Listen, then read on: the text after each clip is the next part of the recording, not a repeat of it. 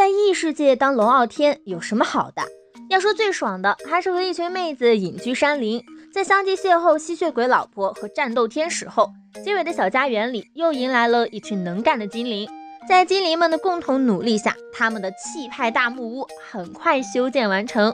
一楼分别是大厅、厨房和仓库，还有存放柴火和粮食的地下室。二楼是各自的房间以及一间甜蜜双人过夜房。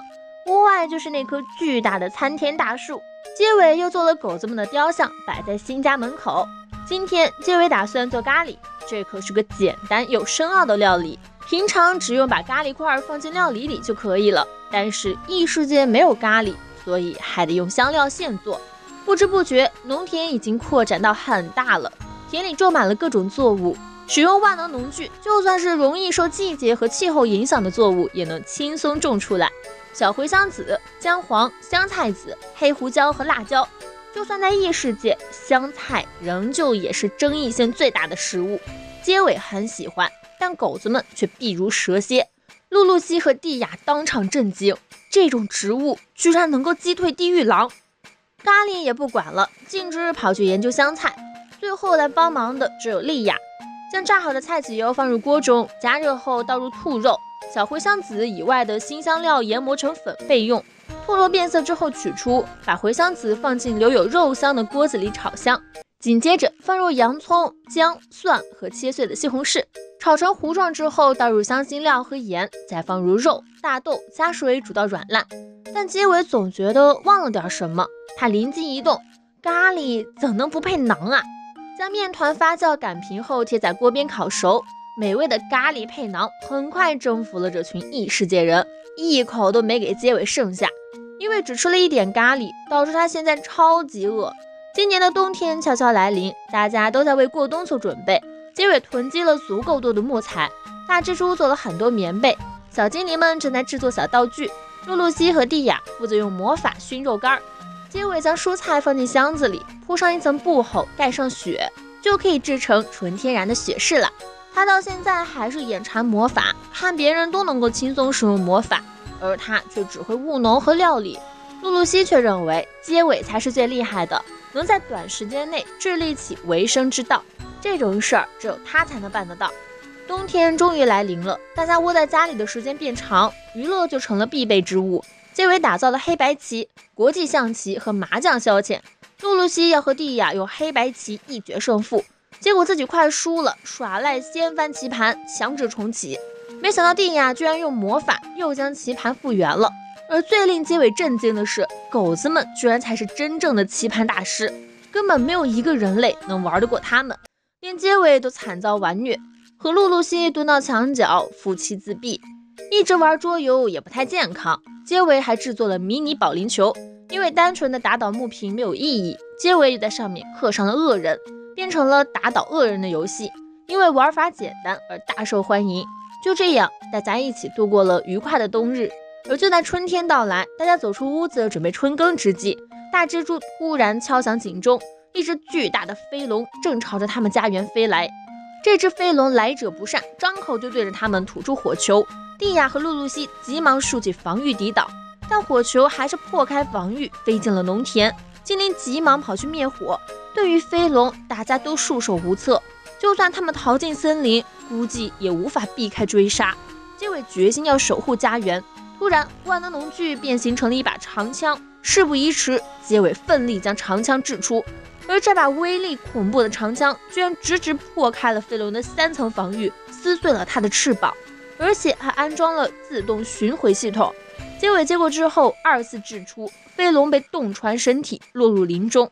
结尾秒杀飞龙这一手，把蒂亚和露露西都看傻了。之后和他说话都小心翼翼的。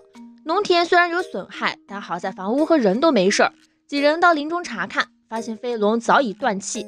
结尾语气严肃地问他们：这种怪物的数量多不多？会不会是有人故意指使？飞龙的数量罕见，更别提这么大一只了。他们应该只是单纯的倒霉，遇上了突发事件。于是结尾放下心来，指着飞龙问：“这东西能不能吃？不仅能吃，还是顶级美味。据说曾经一位国王为了亲自品尝这股美味，动用大军围剿飞龙巢穴，整队大军反而遭受火焰攻击，被吞噬殆尽。而现在，他们不费吹灰之力就吃到了传说中的珍馐。露西小声问蒂亚：“能不能防住那把枪的攻击？”蒂亚表示：“根本不可能，那攻击可是破开了飞龙的三道防御，连身体都削下来一大块。现在看来，他们先碰到狗子，简直就是走了大运。”很快，飞龙被击杀的消息传到了魔王城，四大天王不敢置信，光是飞龙靠近他们就要动用全部兵力防御。怎么可能有人两发攻击就秒了飞龙？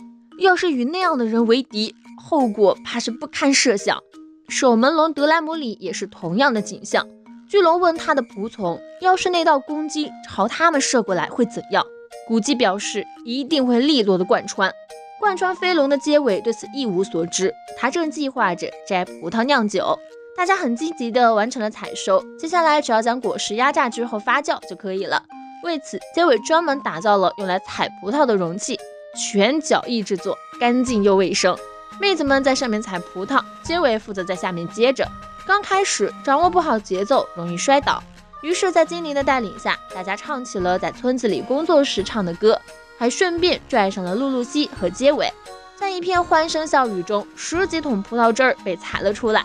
接下来，只要让葡萄皮上的酵母自行发酵，大家都很期待成品。而此时的创世神正跪在女儿农神面前请罪，不小心让无辜之人的灵魂受罪，想补偿，却又把人家扔到了残酷的死亡之森。这也就算了，创世神居然还把神枪格莱姆的复制品给了结尾当农具用。正常情况下，人类碰到是会被瞬间吸干生命力死亡的。好在创世神给了结尾过于健康的身体，让恢复力远远超过了被吸收的量。最最最最过分的是，结尾居然把他的神像雕刻成了一个老头子，这一切全都是创世神的错。生气的农神决定罚这个不靠谱的老爹跪坐三百年。没过几天，结尾在林中抓回了露露西的妹妹弗劳拉。弗劳拉听说姐姐被蒂亚抓走了，特意跑来支援，没想到姐姐居然连婚都结了。